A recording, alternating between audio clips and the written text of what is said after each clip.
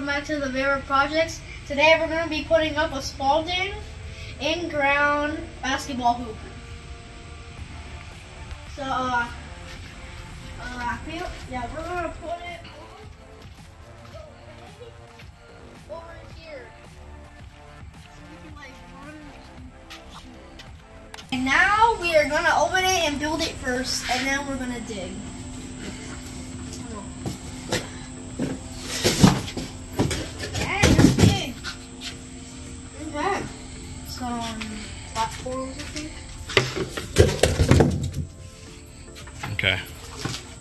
Guys, so there's three pipes, right, that you gotta put together and it has this indication like a little indent.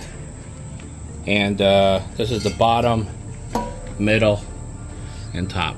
Okay, so it's uh it's really difficult to put it in, I'm not gonna lie. I've given it all I got to bring it all the way down. But I feel like I could go a little bit more, but I just can't give it anymore.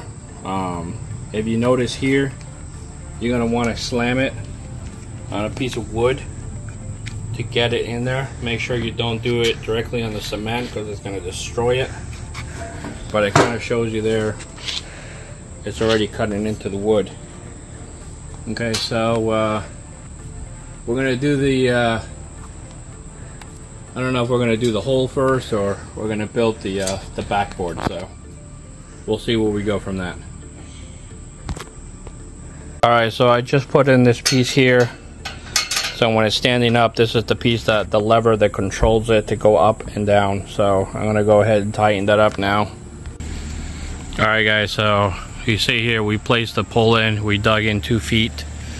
I used one of these uh, levels to make sure that it's perfectly level on both sides, right?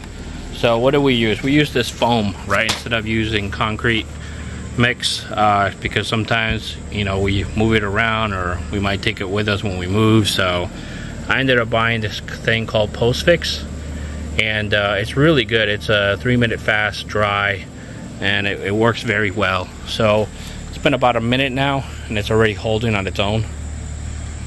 So now we're gonna go ahead and start building the backboard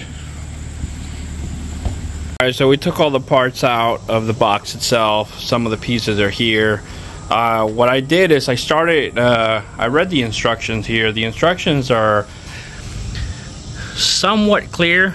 I would say it, it took me about 10 minutes to really understand what the heck was going on here. Um, the best showcase I could do is show you how I built it because, like I said, the, the instructions are kind of mediocre. Um, so what I did is I first thing first I added this plate here, which is what adds the uh, the rim on the other side. So I can show you what that looks like. Okay. Um, then I added the short poles versus the long poles in here.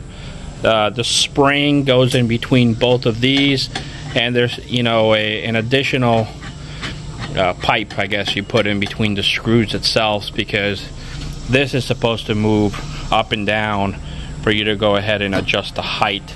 So just to show you closer what it looks like, I have some spacers in here as well and some spacers in here, right? So I'm gonna give you a little bit of an angle, different angles to kind of show you what it looks like overall when this part is done.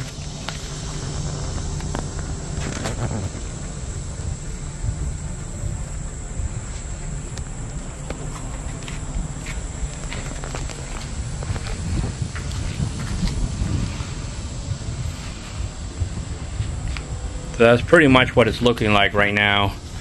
Um, I'm gonna see if I can go ahead, maybe uh, see what the next steps are.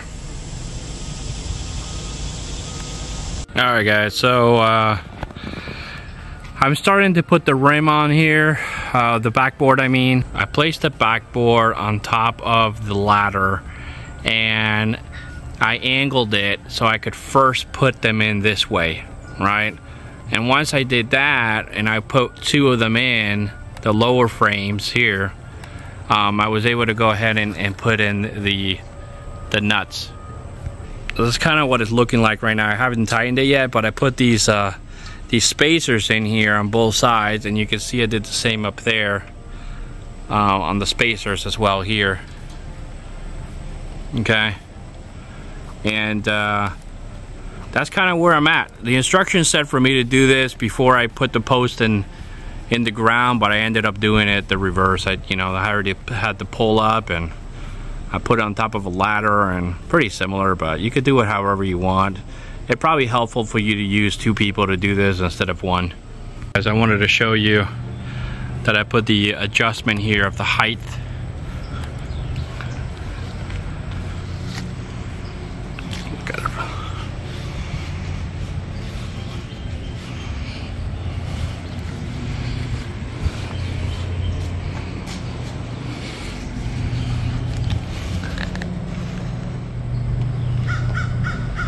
can see I added spacers there to add that additional touch. So I also went ahead and added the rim. You can see that first you got to put in this plate and then the spring and then the nut and you've got to put uh, this uh, this piece here. I can't remember the name of it the washer. So right? That's very tight now. All I got to do is put the uh, the netting on and the framing on top around. So that's my next step. All right guys, so it's all finished up. You can see what it's looking like. You can also see down here how I cut off all the foam that was there, put a little bit dirt so the grass can actually grow. Definitely a fun project. I wish the instructions were a little bit more clear but in the end I was able to figure it out. So I hope that this video will also help you figure it out more. Not just from the instructions from the paper